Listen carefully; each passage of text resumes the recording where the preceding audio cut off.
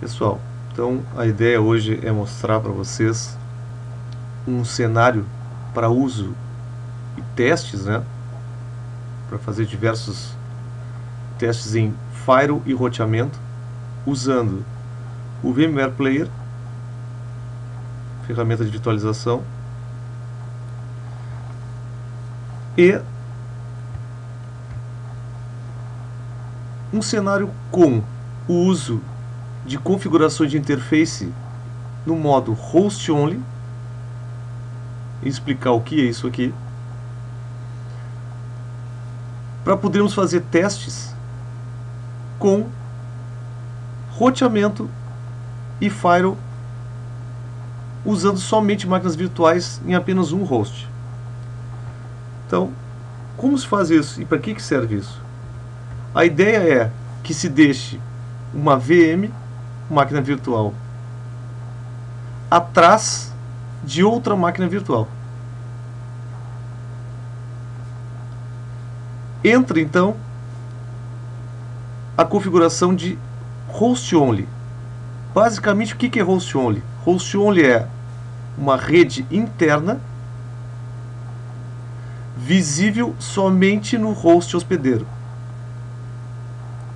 Então, ela fica somente visível no host que roda o VMware Player, chamado então host hospedeiro, que é uma redundância, né? Host é hospedeiro.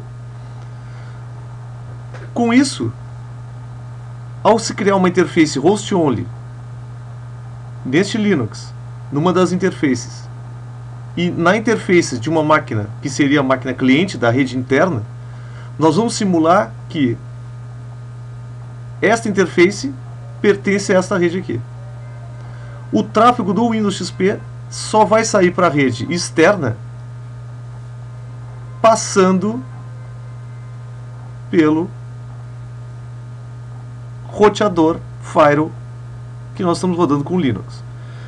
Não é obrigatório que seja Linux apenas aqui, pode ser Windows, pode ser distribuições específicas de Firewall, como IPCOP, é, Indian Firewall, outras, por exemplo, como MonoWall, PFSense, e aí fazer diversos cenários de testes simulando uma rede interna.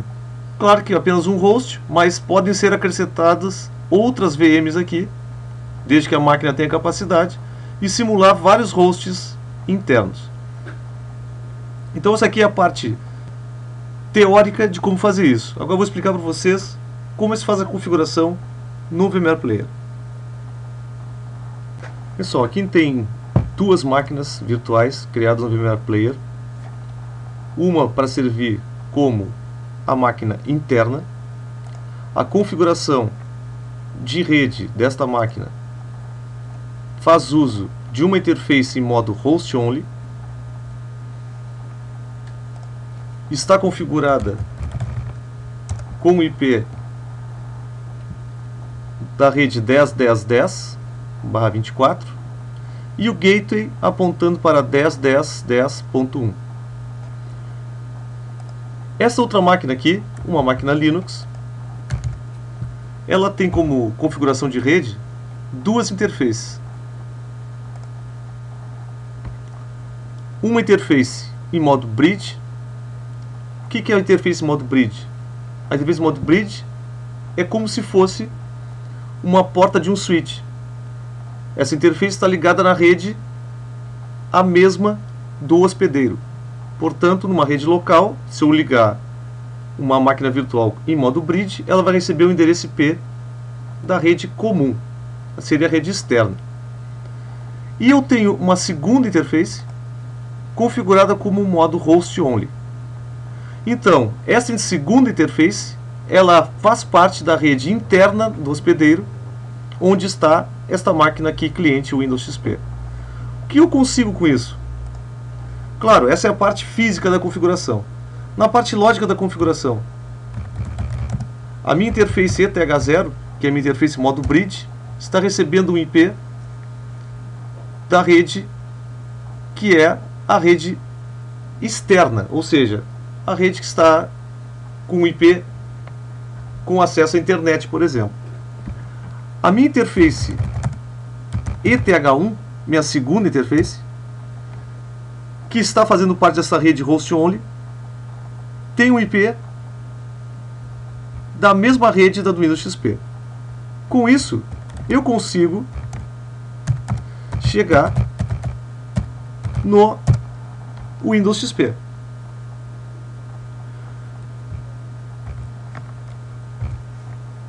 A minha máquina Windows XP chega no gateway, que é o Linux.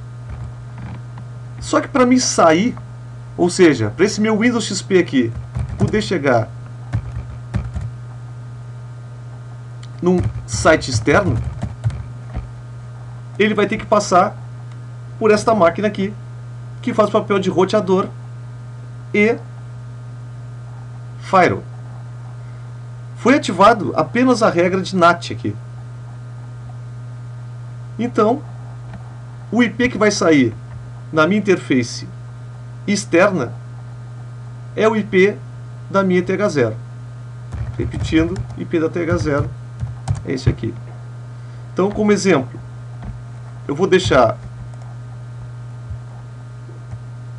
uma solicitação de ping acontecendo aqui para o site do Terra. Vou verificar na minha interface ETH1 usando a ferramenta TCP-Dump e filtrando por ICMP que está havendo uma solicitação do IP 10.10.10 na minha interface ETH1 e na minha interface ETH0 eu vou ver solicitações do IP da minha ETH0, ou seja, do meu IP externo, fazendo solicitação para o Terra. Então aqui percebe-se que o tráfego está chegando na interface interna deste Linux, ETH1, sendo traduzida e saindo para a internet na ETH0. Então com essa configuração simples aqui, dá para desenvolver diversos cenários de redes usando firewall, usando roteamento, usando abertura de portas, usando detectores de intrusão e outras ferramentas interessantes.